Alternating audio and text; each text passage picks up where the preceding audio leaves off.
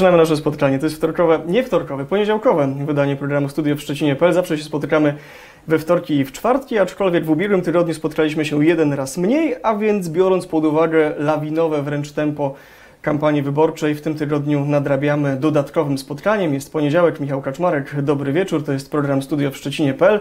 Profesor Tomasz Grodzki, senator i kandydat do Senatu naprzeciwko mnie. Dobry wieczór, panie senatorze. Dobry wieczór, panie redaktorze, dobry wieczór państwu.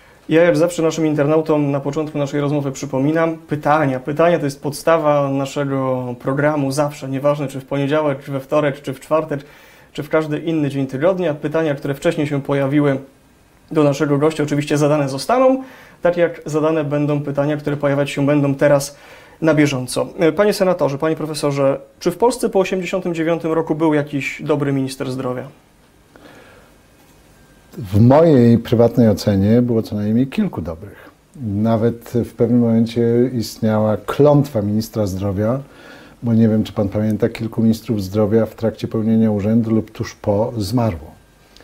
Świetnym, tak jak pani Franciszka Cegielska, jak minister Żuchowski, czy wreszcie pan minister Religa który, który w mojej ocenie był jednym z najlepszych, e, z najlepszych e, ministrów zdrowia. To rok 2005-2006, tak, a później? Miał, e, no później ja wierzę, wie pan, jestem, jestem zwolennikiem tego, że każdy, kto, kto jest, czuje się częścią wspólnoty, stara się coś dobrego zrobić. I, i do każdego ministra zdrowia oczywiście można mieć uwagi negatywne, jak i dostrzegać pozytywy. Na przykład y, minister Arłukowicz wprowadził pakiet onkologiczny, który przy wszystkich jego niedoskonałościach jednak przyspieszył diagnostykę onkologiczną i spowodował, że ludzie poczuli się w jakimś sensie zaopiekowani i ta ścieżka onkologiczna, przynajmniej jeśli idzie o raka płuca, a za niego odpowiadam w skali kraju, jest taka, że jeżeli ktoś wymaga operacji, to jest zoperowany Zadałem w czasie. panu pytanie o to Ministerstwo Zdrowia, bo pan jest przymierzany do funkcji ministra zdrowia. To jest takie no. ukoronowanie pana kariery, dlatego pan chce, żeby Koalicja Obywatelska wygrała wybory? Nie, wie pan, w tej chwili, jak mówią, y, misja ministra zdrowia to jest, jedni mówią sprzątanie stajni Augiasza, drudzy mówią misja kamikadze. Gorące krzesło. Gorące krzesło, w żadnym razie trampolina polityczna. Natomiast całe życie poświęciłem leczeniu ludzi. Zacytuję tu profesora Religę, z którym miałem zaszczyt być na ty, jako młodszy kolega, z czego byłem niezwykle dumny. I go zapytałem, jego, czy, czemu pan został ministrem? Przecież pan jest świetnym kardiochirurgiem, pionier transplantacji. A on mówi, słuchaj, jak operuję, leczę jednego. Jeżeli uda mi się coś zrobić dobrego w, jako minister, mogę pomóc tysiącom.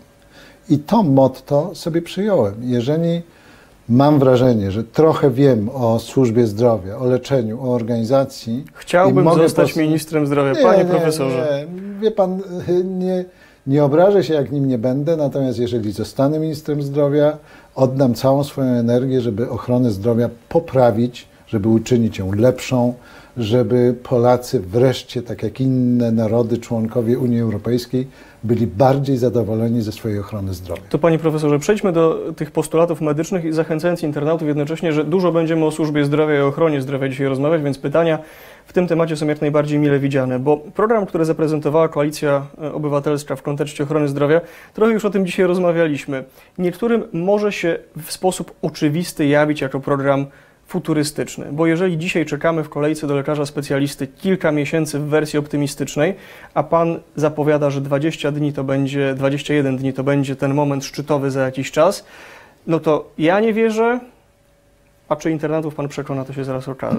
Ale możemy nie, normalnie rozmawiać. Nie, nie chcę nazywać pana człowiekiem małej wiary, ale ale jak 20 parę lat temu wczesnemu dyrektorowi szpitala w Zdunowie powiedziałem, że w naszym peryferyjnym szpitalu będziemy przeszczepiać płuca, to on mnie zapytał, czy mam gorączkę. Nie wierzył. Tymczasem jesteśmy drugim obok Zabrza ośrodkiem przeszczepiania płuc. Ale chyba łatwiej jest uczynić ale... ze szpitala w Zdunowie szpital, w którym się przeszczepia płuca, że... niż sprawić, że w 21 Aczko... dni specjaliści będą obsługiwali Zacznijmy od pacjentów. tego, że to nie zadeklarowałem ja, tylko przewodniczący Schetyna. I należy znaleźć sposób, w jaki y, należy do tego dojść. I nie powiedziałby I- pan mu, że ma pan, panie przewodniczący, gorączkę deklarując coś takiego Nie, dlatego że nie jest to wykonywalne tak za pstryknięciem palców, ale są kraje, i to kraje w Europie, gdzie takie kolejki tego rzędu są. I nie należy wymyślać jakiejś trzeciej drogi, tylko należy brać przykład z tych, którzy to robią lepiej. Jest cały kompleks działań. Po pierwsze, odbiurokratyzowanie lekarzy, żeby 80% swojego czasu poświęcali na chorych, a nie na, e, a nie na tak zwane papiery. Po drugie, wyposażenie ich jak rodzaj lotniskowca we flotylę pomocniczą. Na przykład studentów szóstego roku medycyny, żeby się uczyli praktycznie przy lekarzu pisali. Pewne przemodelowanie poradni, żeby w jednym miejscu chory się często, często dość niesprawny, żeby się rozbierał, w drugim, żeby go badała pielęgniarka, w trzecim, żeby go badał lekarz, który ma mniej papierów, ma dyktafon, może... Ale ja mam pan- to rozpisane na rolę, Pan teraz pan? właśnie tak szybko przebiegł między tymi podpunktami, które ja sobie tutaj bardziej szczegółowo rozpisałem. No dobrze. A więc najpierw prosiłbym, żeby. Pan mi wyjaśnił, jak się nam wyjaśnił, jak w te 21 dni ci, ci specjaliści będą gotowi do, do przyjęcia nas, kiedy my teraz Zacznijmy- musimy pół roku czekać. Zacznijmy, zacznijmy od pierwszego punktu. W tej chwili ambulatoryjna opieka specjalistyczna jest tak finansowana, że każdy niemal dyrektor szpitala oczekuje, że pacjent nie będzie załatwiony w AOS-ie, bo kontrakt jest nisko wyceniony i generalnie niezbyt wysoki, tylko chorego należy hospitalizować niepotrzebnie na trzy dni, po to, żeby szpital dostał pięć razy więcej pieniędzy. No to jest, zgodzi się Pan, absurd.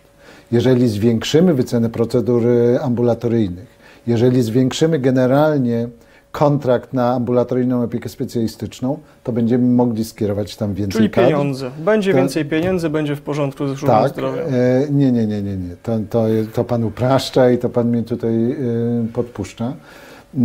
Nie, same pieniądze to jest pewna podwalina, bo przypomnę państwu, że Polska, jeśli idzie o szkolnictwo, sądownictwo, obronę narodową, jest mniej więcej w środku stawki krajów OECD, Unii Europejskiej, ciut szerzej. Jeżeli, jeśli idzie o służbę zdrowia, jesteśmy na trzecim miejscu od końca. I jeżeli tego nie zwiększymy, jeżeli nie zwiększymy finansowania jako pewnego fundamentu wyjściowego, to cała reszta się nie uda, bo starożytni już wiedzieli, że z pustego to i Salomon nie naleje.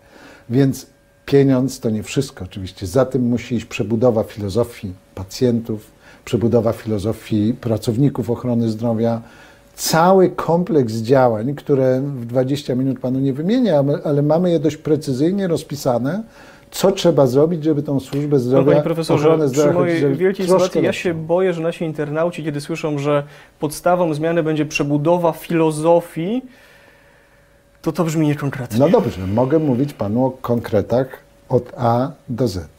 I mówiłem o tym, jak zrobić trzema działaniami: finanse, y, odbiurokratyzowanie, prze, przemodelowanie y, AOS-u, kształcenie lekarzy i w krótszej czy dłuższej perspektywie dojdziemy do tego, bo to nie jest tak, że cały świat ma kolejki do specjalistów. To my jesteśmy kuriozum, bo na całym świecie do specjalisty się można dostać relatywnie szybko, a u nas to jest źle zrobione. To nie, to nie jest tak, że cały świat z tego tytułu cierpi. Jedni cierpią mniej lub więcej, ale w Polsce ta sytuacja jest nie do zaakceptowania, żeby czekać do endokrynologa nie wiadomo ile już prawie lata całe. Czy myślę, że tutaj wśród naszych internautów raczej wszyscy by się z Panem zgodzili, tylko ta metoda tego, czy to się uda, czy się nie uda, to jest już inna rzecz. Ale chciałbym, żeby Pan wyjaśnił Pa- naszym... Przeczytam, e, przytoczę Proszę. panu myśl Gandiego. Gandhi mówił, że rób swoje. Najpierw cię lekceważą, potem się z ciebie śmieją, potem cię mm, prześladują, na końcu cię zwalczają, a na samym końcu ty zwyciężasz.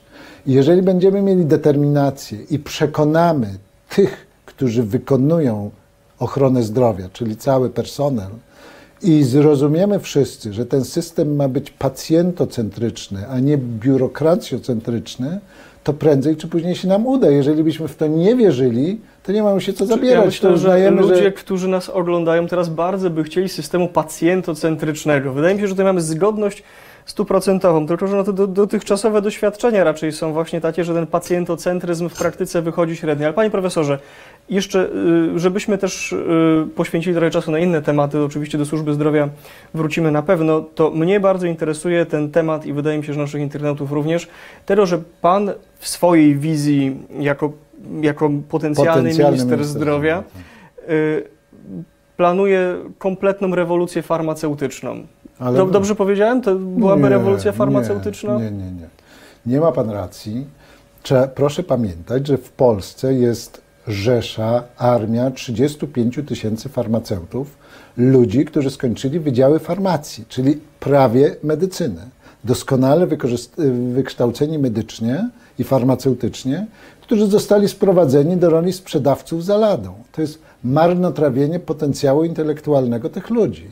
I dlatego w porozumieniu z samorządami aptekarskimi, przedsiębiorcami farmaceutycznymi chcemy zaprosić tą armię ludzi dobrze wykształconych, żeby wsparli skromne zasoby ludzkie systemu ochrony zdrowia. I mamy taką aptekę, jak tutaj na przykład, nie wiem, czy na Pocztowej jest apteka. Załóżmy, że Co mamy jest? aptekę na ulicy Pocztowej. To No. jak pan widzi funkcjonowanie tej apteki? A niech pan zajdzie na zaplecze tych aptek i zobaczy pan, jakie są przepisy, ile tam jest pomieszczeń. I mówili mi to zarówno aptekarze, jak i właściciele aptek, jak i technicy farmaceutyczni, że można wygospodarować pomieszczenie i to też nie wymyślamy niczego nowego. Nie wiem, czy pan wie, że w Wielkiej Brytanii 80% szczepień odbywa się w aptekach. Jak człowiek gdzieś wyjeżdża w tropiki, czy jak się szczepi na grypę, po co ma siedzieć w kolejce i czekać do lekarza rodzinnego, skoro może to zrobić w aptece? Aptekarz doskonale mu doradzi, jak wychodzić z nałogu palenia czy alkoholizmu. Aptekarz może mu zmierzyć poziom cukru i doradzić jakiś preparat. Aptekarz wreszcie może mu ustawić trochę farmakoterapii. Jest cały, cała lista procedur, w każdym kraju trochę inna, od Finlandii po Wielką Brytanię, gdzie aptekarz wykorzystuje swoją wiedzę medyczną i może być farmakologicznym opiekunem pacjenta.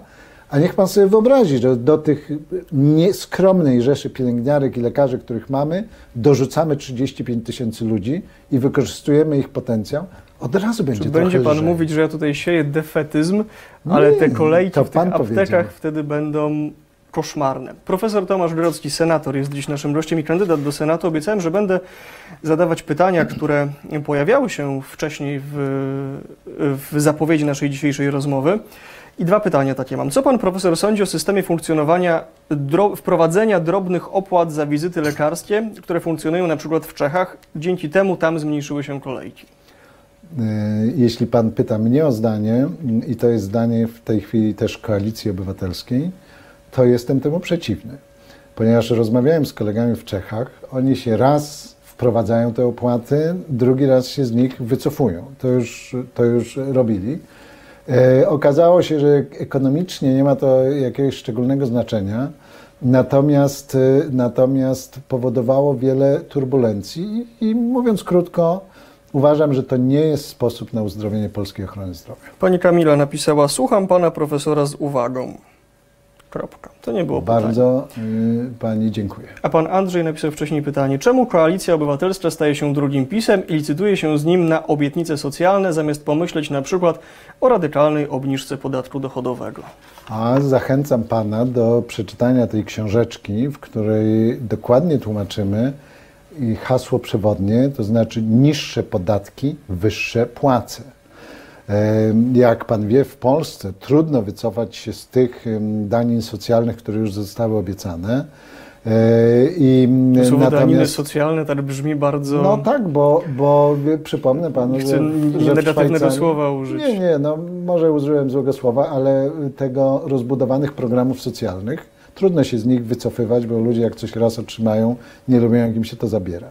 Natomiast kluczem programu y, Koalicji Obywatelskiej jest niższe podatki, wyższa płaca i to jest rozpisane zarówno dla przedsiębiorców do 25 roku życia, dla pracujących emerytów, dla tych, którzy będą dłużej pracować, tam są zwolnienia z PIT-u. Nie chcę mówić szczegółów, bo nie chcę czegoś pomylić, ale mogę, mogę mam to w telefonie, mogę, mogę No przeczytać. to jest takie bardzo skomplikowane, co pan mówi, panie no, profesorze. niższe podatki, wyższa płaca to jest skomplikowane, panie Czy no, redaktorze. jest bardziej no. skomplikowane niż 3000 podstawy jako płaca minimalna. No dobrze. Albo wie pan, 500 co, wie pan, co albo ludzie, 300 wie pan, co ludzie mówią na targowiskach? Nawet prości ludzie, który, których, y, z którymi rozmawiam, może i będzie te 4 tysiące, tylko pewnie chleb będzie po 40.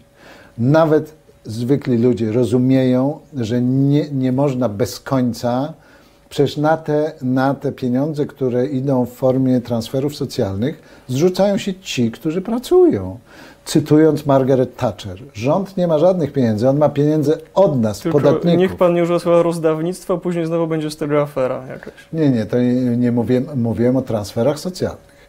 Że ludzie, owszem, należy zwal, zwalczać poziom ubóstwa, chociaż statystyki mówią, że on mimo tych transferów socjalnych raczej rośnie zamiast maleć, ale jeżeli 100 naj, ze 100 najbogatszych Polaków 37 dostaje jeszcze ekstra emeryturę, chociaż ona im nie sądzę, żeby była potrzebna do czegokolwiek, to, to chyba pan się zgodzi, że to nie jest do końca w porządku. Mniej więcej 10 minut nam zostało jeszcze do końca, więc to jest czas najwyższy, żebyście, drodzy internauci, zadawali pytania. Profesor Tomasz Grodzki, y, lekarz, senator, kandydat do Senatu, więc dzisiaj więcej, chirurg. chirurg, tak.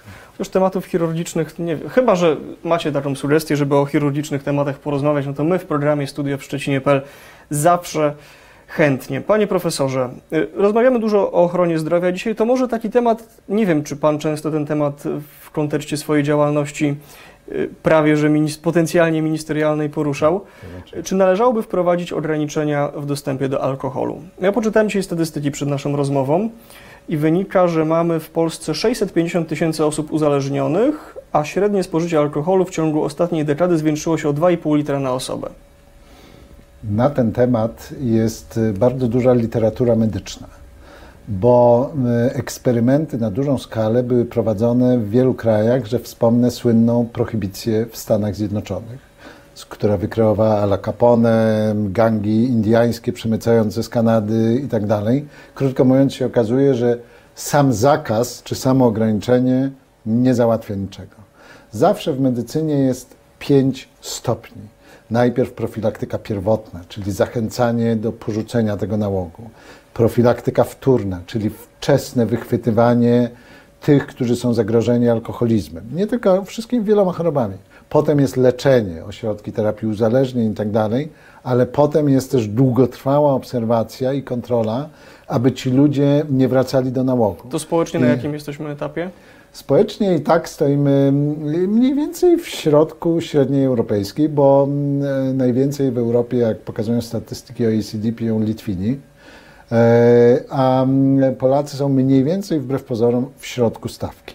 Natomiast generalnie medycyna w ponad 70% opiera się na zwalczaniu skutków nałogów palenia tytoniu, opilstwa i obżarstwa, bo to generuje my, całą gamę chorób. To musielibyśmy I na- i- wszystkie siedem grzechów głównych tutaj zaraz No, omówić, a ja tylko o tym jednym No na razie ale, chciałem. ale to jest oczywiste, jeżeli, jeżeli pan pyta lekarza, to z punktu widzenia zdrowia narodu alkoholizm jest chorobą, tylko samym zakazem czy samym, podno, samym podnoszeniem cen alkoholu niczego pan nie załatwi, tylko zbuduje pan czarny rynek, wrócą tak zwane babcie i tak dalej, które pamiętamy z czasów komunizmu i to, to, to musi być zawsze kompleks działań, o którym mówiłem. Ograniczeń nie ma. Nie powinno być ograniczeń. Znaczy, powinny, nie, oczywiście, że powinny być ograniczenia. Ale w takiej, jakie są w obecnej formule, bez y, dodatkowych No, bez restrykcji.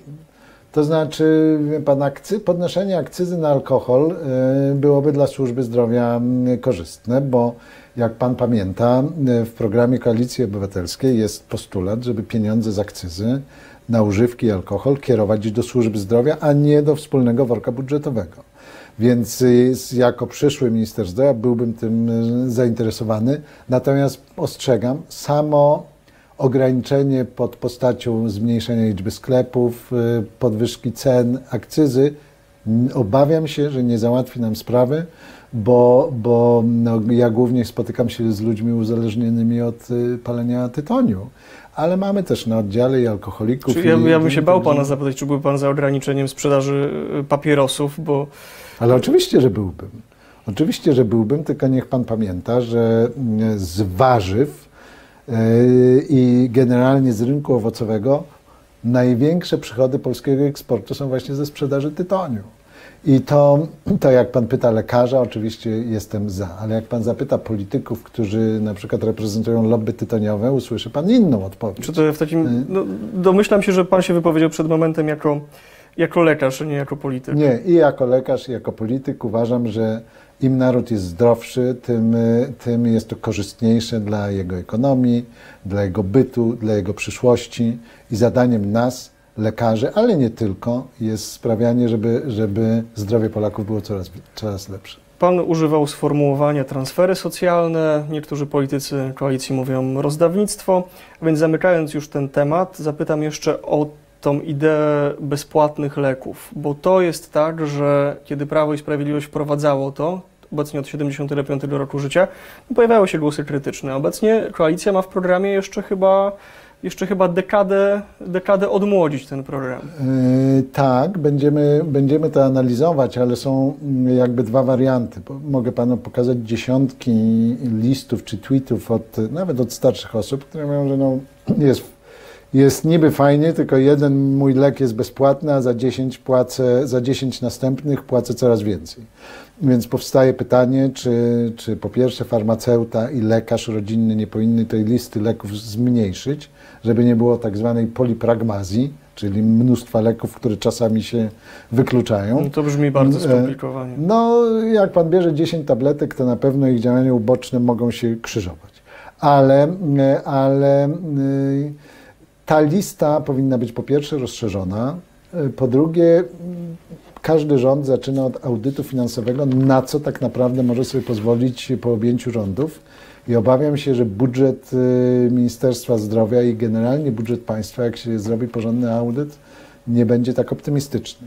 Natomiast y, ja traktuję to jako swój mały sukces, ale nie wiem, czy Pan pamięta, niezbędny lek dla dzieci po transplantacjach przez ostatnie trzy lata kosztował ponad 1000 złotych i w końcu naciskiem społecznym udało się wrócić do ceny z czasów Arłukowicza, czyli 3,20. Tych sytuacji jest... było rzeczywiście dość sporo. Panie profesorze, zbliżając się powoli do końca, więc to jest jedna z tych nielicznych ostatnich okazji, żeby zadać pytanie naszemu dzisiejszemu poniedziałkowemu gościowi w programie Studia w Szczecinie.pl. Czy będzie debata pomiędzy panem i Małgorzatą Jacyną-Wit? Tego nie wiem.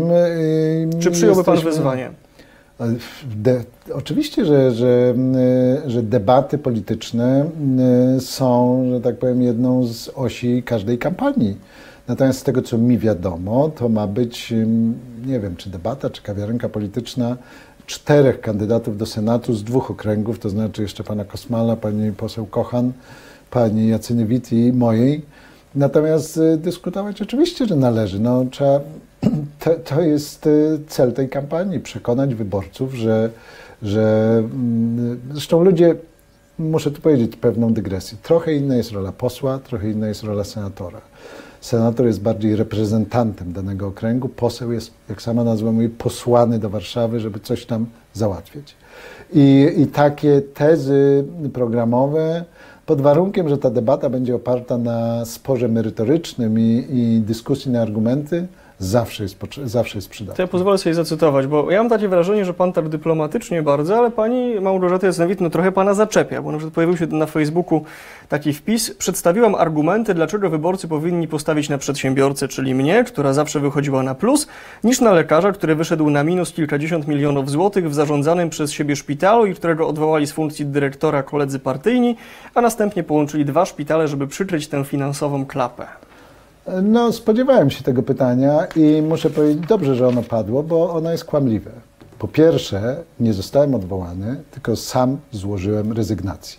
I trzeba to jasno powiedzieć. E, I, i, to jest, e, I to należy sprostować, bo to kłamstwo jest powtarzane. Natomiast szpital był, proszę pamiętać, po dużej inwestycji i, e, i mieliśmy długotrwały długoterminowy kredyt, który należało spłacać. I jak każdy, kto buduje dom, wie, że po takiej inwestycji jest nieco wyczerpany finansowo. Natomiast nie wycofuję się ani z jednego ruchu, który wtedy zrobiłem, ponieważ stworzyliśmy nowoczesny szpital z najlepszymi salami operacyjnymi w regionie, z najlepszymi fachowcami zatrudnionymi, a poziom zadłużenia tego szpitala przy dzisiejszym zadłużeniu szpitali po czterech rządach, e, rządów, latach rządów PiSu to była, to była jak kropelka do wodospadu. To, to był ten szpital egzystuje, jest połączony, ma najwyższe certyfikaty ISO, ma akredytację Centrum Monitorowania Jakości w Ochronie Zdrowia i pracuje. Więc skończmy z tym gadaniem. Czyli rozumiem, że ta debata to byłaby debata na wysokim poziomie temperatury. Nie, jeżeli ja pojawiałyby się, się tego to typu znaczy, sugestie. Mnie, y, moją rolą w tej kampanii jest przekonać wyborców Szczecina i Polic, że po pierwsze starałem się dumnie i godnie reprezentować ich y, poprzednią kadencję i wypracowałem sobie pewną pozycję w zakresie służby zdrowia, a nawet praworządności, bo nie wiem, czy pan wie, założyłem taki senacki zespół do spraw monitorowania praworządności w Senacie, który miał kilka bardzo ciekawych decyzji, uchwał i posiedzeń i będzie miał jeszcze jedno. Wypracowałem sobie pewną pozycję ogólnopolską i mam zamiar przekonać wyborców, że będę ich jeszcze lepiej reprezentował w drugiej kadencji. A to, co mówi moja oponentka, szczerze mówiąc, przykładam do tego mniejszą wagę. Tak na koniec już, panie profesorze, y, obserwując tą kampanię wyborczą, ma pan takie wrażenie, że Koalicja Obywatelska przekonuje mieszkańców województwa zachodniopomorskiego do siebie, czy nie przekonuje? Bo biorąc pod uwagę te sondaże, czy te prognozy wyborcze, które były przedstawiane w ostatnim czasie, no to mm, wygląda to na remis na ten moment. To A znaczy, u nas znaczy, remisu zwykle ja, tutaj nie było dla państwa. Pan, ja jestem przekonany, że w województwie zachodniopomorskim Koalicja Obywatelska wygra te wybory, tak jak to zwykle czyni. I powiem panu z obserwacji bezpośrednich relacji z ludźmi, cztery lata temu był dużo większy, był nastrój pewnej rezygnacji, że a, platformę już się zużyliście i tak dalej. Natomiast teraz jest zupełnie inny nastrój spotykamy się z bardzo pozytywnym odbiorem. Nie tylko ja, no, ja senator, profesor, to może ludzie trochę inaczej reagują, ale, ale inni koledzy, którzy prowadzą kampanię bezpośrednią, również to odnotowują. I ja jestem przekonany, że w, przynajmniej w województwie zachodniopomorskim, a w oparciu o wiedzę, którą mam od analityków rządu amerykańskiego, utrzymuję z Senatem amerykańskim pewien kontakt, Wygląda na to, że może w skali kraju PiS jako pojedyncza partia mm, zwycięży, ale jeżeli Lewica i PSL wejdą do Sejmu, a my zrobimy dobry wynik, to wcale się nie może okazać, że PiS nie będzie rządził. I tego, i to nie jest wydumany pogląd, tylko pogląd ludzi, którzy uchodzą za najlepszych analityków na świecie. No nie, teraz ci pewnie gorsi analitycy mogliby powiedzieć, no skoro się nie dogadaliście przed wyborami parlamentarnymi, żeby wspólnie wystartować, to jak się dogadacie, żeby tworzyć rząd, jeszcze z ruchem Kukiza w PSL-u. Ale to już byśmy no, musieli się wdawać to, w politologiczną to jest, Są liderzy dyskusję. partyjni, to jest rzeczywiście temat na drugą dyskusję na, i to długą. E, I wie pan, ja może jestem politykiem, chociaż szczebla regionalnego od 2006 roku, ale jestem krócej niż lekarzem. Natomiast całe życie zajmuję się diagnozowaniem. I diagnozując zachowania polityczne, najpewniejszą rzeczą w polityce jest zmiana. Tak, tak to jest i ja jestem przekonany, że, że te wszystkie, te wszystkie sondaże, te wszystkie badania opinii publicznej tak naprawdę są weryfikowane przy urnie wyborczej i zobaczymy, jaki będzie. To jeszcze ostatnie pytanie. Gdzie jest według Pana miejsce polityka w kampanii wyborczej? Młodzieżowy strajk klimatyczny, ostatnio wszędzie tam są politycy. Parada Równości, chyba tam było połowa polityków startujących. Wszelkie festyny osiedlowe, nigdy w życiu żadnego polityka, chyba że w kampanii samorządowej albo w kampanii parlamentarnej. Ja Pana nie. chyba na żadnym z tych wydarzeń nie widziałem w ostatnim czasie. Nie, nie. Na festynach e, samorządowych byłem bardzo wielu. Natomiast tak jak Panu mówiłem, ja dzielę swoją kampanię trochę tu lokalnie i trochę krajowo w zakresie służby zdrowia. Miałem jakieś debaty w faktach po faktach i, i tak dalej. No, także kampania, pamiętajmy, to jest może truizm, ale zaczyna się dzień po wyborach. I ludzie oceniają, co dany delikwent robi przez 4 lata, a dopiero w drugiej kolejności, jak jest aktywny mm, w kampanii. Natomiast kampania powinna być prowadzona wśród ludzi, dla ludzi, aczkolwiek formy realizowania tego przesłania są różne. I, I, media społecznościowe, i kampania bezpośrednia, i door to door, i akcje ulotkowe, i mailingi i tak dalej, ale to jest okres pewnego szczytu. Brytyjczycy w ogóle robią kampanię od dnia 30 do dnia zerowego. W Polsce troszkę dłużej. Natomiast o tym, kto jest oceniany jako polityk dobrze czy źle, nie de kampania decyduje w pewnym stopniu, ale najbardziej decyduje okres jego poprzedniej No i niektórzy mówią, że jeszcze debaty, tylko że no ja tutaj się nie dowiedziałem od Pana dzisiaj, czy ta debata senacka bo ja będzie wiem, w końcu, bo, bo ja tego nie wiem, ja tej debaty nie organizuję, także wiem o tym, że będzie debata czterech kandydatów do Senatu i to jest moja wiedza na dzień dzisiejszy. Profesor Tomasz Drocki, senator i kandydat do Senatu z ramienia Koalicji Obywatelskiej, był naszym poniedziałkowym gościem w programie Studio w Szczecinie.pl. Panie senatorze, panie profesorze, bardzo panu dziękuję za naszą dzisiejszą rozmowę. Dziękuję bardzo. Obiecałem Wam, że w tym tygodniu tych naszych rozmów tutaj w programie Studio w Szczecinie.pl będzie trochę więcej i tym torem senackim będziemy podążać dalej. Dzisiaj profesor Grodzki, a jutro na żywo o 20 Małgorzata Jacyna-Wit. A więc jeżeli macie jakieś pytania, to one też jutro wybrzmią w tym studiu. Obiecuję. Michał Kaczmarek, dobranoc.